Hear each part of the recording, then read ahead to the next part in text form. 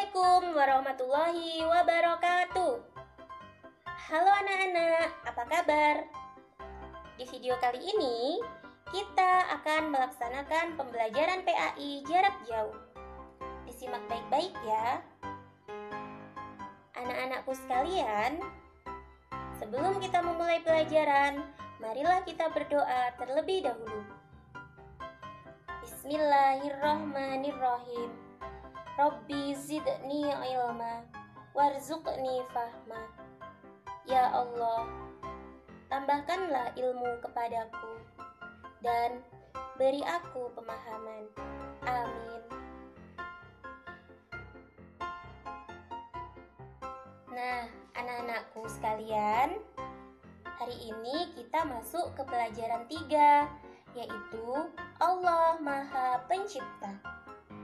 Setelah mempelajari materi ini nanti, guru harap kalian bisa memahami makna dari Asmaul Husna Al-Khaliq. Nah, anak-anak, Allah Subhanahu wa taala adalah Tuhan yang menciptakan alam ini. Kalau kita melihat semua yang ada di langit dan di bumi, kita semakin yakin bahwa Allah Maha Pencipta. Alam semesta ini diciptakan oleh Allah. Alam semesta yang ada di sekitar kita sangatlah indah. Ada manusia, hewan, tumbuhan, batu, air, gunung, bulan, bintang, dan lain sebagainya. Anak-anak, karena Allah Maha Pencipta, maka Allah berbeda dengan ciptaannya. Makhluk Allah ada yang hidup dan ada yang mati. Contoh makhluk yang hidup adalah manusia, hewan, tumbuhan. Sedangkan untuk contoh makhluk yang tidak hidup ada batu, air, gunung, dan lain-lain. Allah menciptakan itu semua untuk kesejahteraan manusia. Karenanya, manusia wajib untuk bersyukur dengan cara melestarikan alam ini dan tidak merusaknya. Dengan adanya alam ini menunjukkan bahwa Allah Maha Pencipta. Nah, anak-anak, Allah Maha Pencipta dalam Asmaul Husna disebut dengan Al-Khaliq. Semua ciptaan Allah disebut dengan makhluk. Allah menciptakan alam semesta ini beserta isinya. Allah menciptakan alam ini dengan sangat teratur.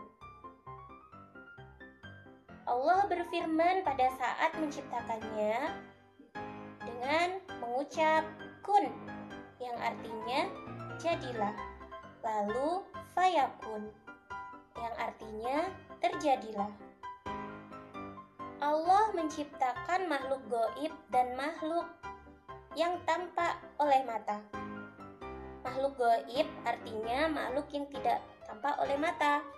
Contohnya setan, malaikat, dan jin. Sedangkan makhluk yang tampak, contohnya manusia, hewan, tumbuhan, air, gunung, dan matahari. Allah menurunkan hujan dari langit. Dengan air hujan, bumi menjadi subur, sehingga tumbuhlah berbagai tanaman yang menjadi rezeki bagi manusia. Karenanya, kita harus bersyukur kepada Allah. Nah, anak-anak, itulah materi kita hari ini. Sebelum Bu Guru akhiri, Bu Guru ada lagu untuk kalian. Dengan nada lagu, menanam jagung yang berjudul Allah Maha Pencipta. Yang di rumah boleh ikut bernyanyi ya. Yuk kita nyanyi bersama. Satu, dua, tiga. Allah Tuhan kita semua yang menciptakan alam semesta. Allah Al-Khaliq, Allah Al-Khaliq, Allah Ta'ala Maha Pencipta Allah, Allah Maha Pencipta Langit dan bumi serta isinya Baiklah anak-anak sekalian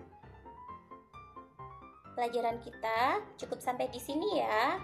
Semoga bermanfaat. Bu Guru akhiri Wassalamualaikum warahmatullahi wabarakatuh